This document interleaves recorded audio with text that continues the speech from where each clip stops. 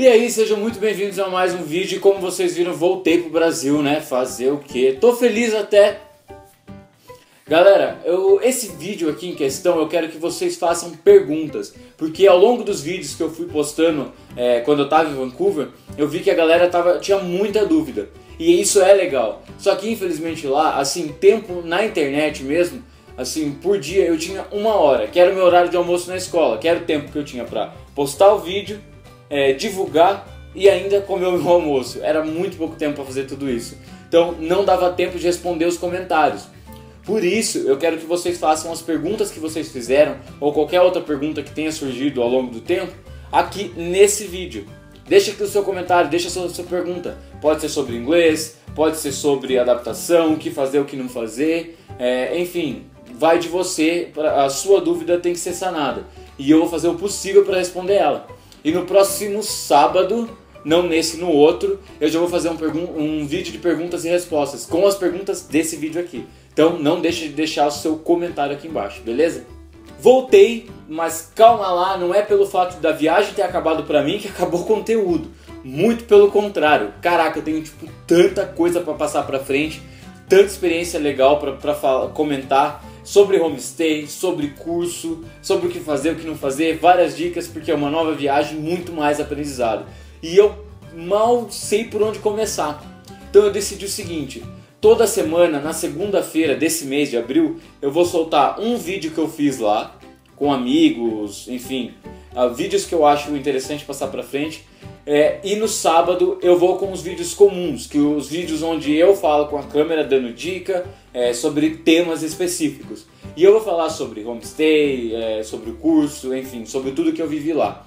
Então, toda segunda-feira um vídeo que eu fiz lá. E nessa segunda-feira já eu vou tentar postar o vídeo que eu fico, fiz com os meus amigos canadenses. Eles comendo comi é, comida, na verdade não, né? Doces brasileiros. Que eu levei para eles, como paçoquinha, balas, enfim. E é um vídeo que ficou legal e que eu vou colocar aqui na segunda-feira. Então volta aqui no canal. Então eu vou falar um pouquinho sobre o que eu fiz nos meus últimos três dias em Vancouver, que foi na sexta, sábado e domingo. Sexta meu último dia na escola, sábado meu último dia na cidade e domingo que foi é, o dia que eu fui pro aeroporto para pegar os voos, voltar pro Brasil.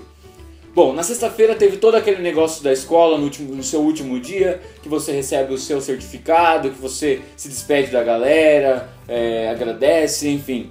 Teve tudo isso, agradeci, peguei os meus certificados, é, foi muito legal, a gente fez várias fotos, me despedi da galera toda. Mas depois que acabou, os meus amigos de sala, que eram de todas as partes do mundo França, Rússia, China, Japão, Coreia, enfim, tanta gente do mundo todo me convidaram para ir num restaurante coreano com eles.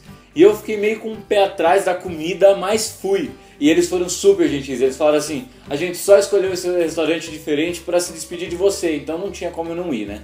Enfim, fui. E a hora que a gente chegou no restaurante, muitos deles sabiam que eu fazia vídeo pro YouTube e me perguntaram como era, é, como é essa coisa de ficar postando vídeo, de ter a galera assistindo. A gente comentou bastante e eles toparam fazer um videozinho rápido lá dentro. Então, olha aí um pouquinho da galera da minha sala. E aí, galera, eu tô num restaurante coreano que as minhas amigas de sala, meu, é meu último dia aqui hoje, eu tinha que aproveitar e a gente veio aqui pro restaurante coreano, super legal. Eu vou contar mais pra frente pra vocês se eu gostei, se eu não gostei, enfim.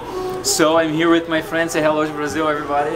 Hi, Hi Brazil. Hi Brazil. Say, say your names and where are you from?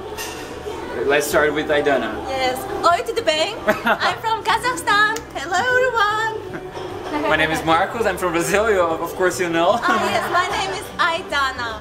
How in uh, Portuguese my name is? I forgot. No, it's okay. Aidana. No, no, my name is in Portuguese. In Portuguese, it's Aidana. It's the No, no, same no, no. How to say my name is? Oh, how do you say my name is? You say, meu nome é Meu nome é. Aidana. Meu nome é. Aidana, yeah. Yeah. Meu nome é Aidana. How Oi, tudo bem? Meu- Meu nome é Aidana. I'm from Kazakhstan. And Belle? Hi, my name is Yesil. I'm from Korea. Uh, yes. Bella. Che, che, Eu. eh, El yeah. Hikari? Hi, I'm Hikari. I'm from Japan. Obrigado. Marcos. Hello everybody, I'm Arturo. I'm from Mexico. Hello everybody, I am Ibrahim, I am from Turkey. And you? Haley? Oh, hello. Of course. I forgot. Oh, obrigado. Obrigado. Obrigado, Yeah. obrigado. Say your name My and name where is- you're from. My name is Han and I'm from Korea. cool. and this is my friends. Unfortunately, I'm coming back to Brazil. Take care. Take care. Take care. Eu te amo. Can you give a signal? Eu te amo. Can you have a signal? They're saying that I'm famous. I'm not famous. and this is the food we have just eaten, and it was good. And now we're gonna head off, and and, and we're gonna be you know hanging out a little bit more. And then I'm gonna say goodbye for all of them because I gotta come back to Brazil. See you guys. Bye bye. Sobre a comida coreana, já vou adiantando que não é boa. Aquele tempero é horrível. Mas na hora eu tive que fazer o rosto bonito e falar assim: é legal, tá bom. É, a comida é mais ou menos isso daqui.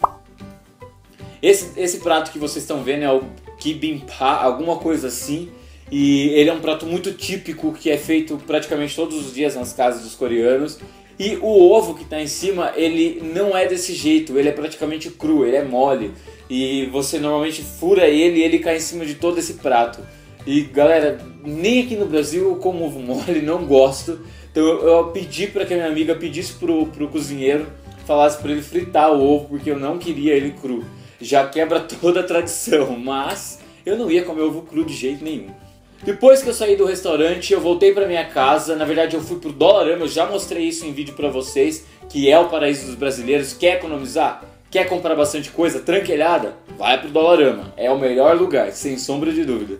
Fui pro Dollarama, comprei algumas coisas que eu precisava para mala, é, coisas pra, de higiene, algumas coisas para me comer também, alguns chocolates e voltei para casa. Pra quê? Pra editar vídeo. Passou o dia, sábado, último dia na cidade. Só fui sair mesmo, é, rever os, os, pela última vez os amigos antes de voltar. E eu comprei uma coisinha que eu queria bastante e no final deu, que é isso daqui. Eu comprei um PlayStation 4. Eu tirei o dia praticamente para fazer essa compra, era algo que eu já queria muito trazer de lá, porque é bem mais barato. Aqui ainda você encontra aí é, em torno de 1.800 a 2.400 reais, mas mesmo assim é muito caro. E lá eu paguei 399 dólares com as taxas de 12%, ficou 441 dólares, que ficou muito, muito mais barato que comprar aqui no Brasil.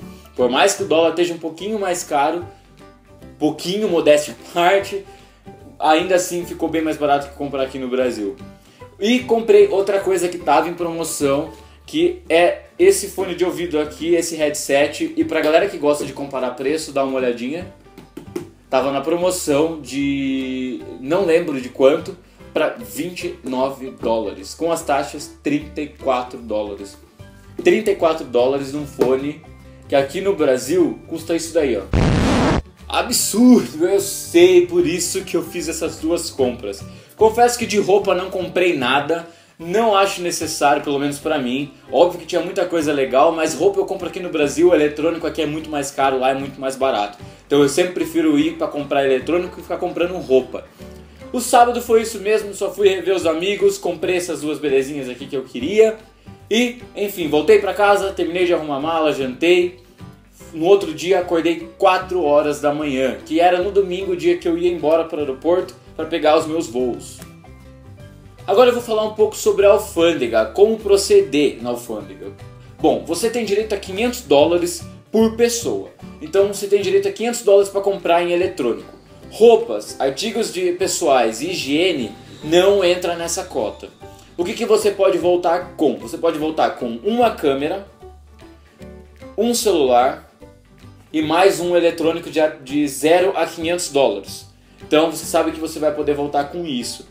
No meu caso, eu estava com duas câmeras, um celular, é, o meu PlayStation, o fone, computador e a parafernália toda.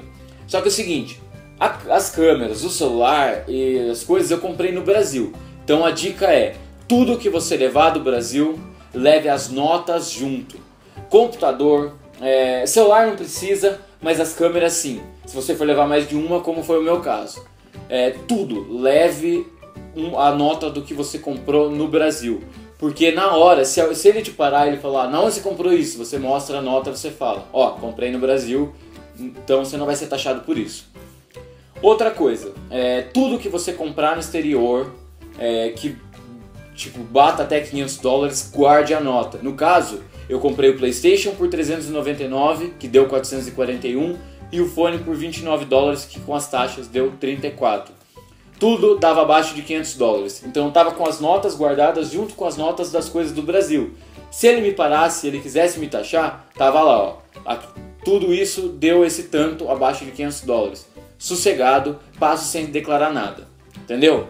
Então tudo que você levar do Brasil, leve as notas. Tudo que você comprar lá, que não seja roupa, é, que não seja artigo de higiene, artigo pessoal, essas coisas, pode ficar sossegado que não vai ser taxado. É, leve as notas dos eletrônicos que você comprar. Se passar de 500 dólares, aí vai de você de levar na mala, levar onde for, tentar passar. Enfim, sua consciência. Se passar de 500 dólares, vai ser taxado. Se eles quiserem taxar, vai ser taxado 60% do valor acima dos 500 dólares. Se é 600, 60% de 100 dólares, que era o que é o que excede a sua, a sua cota.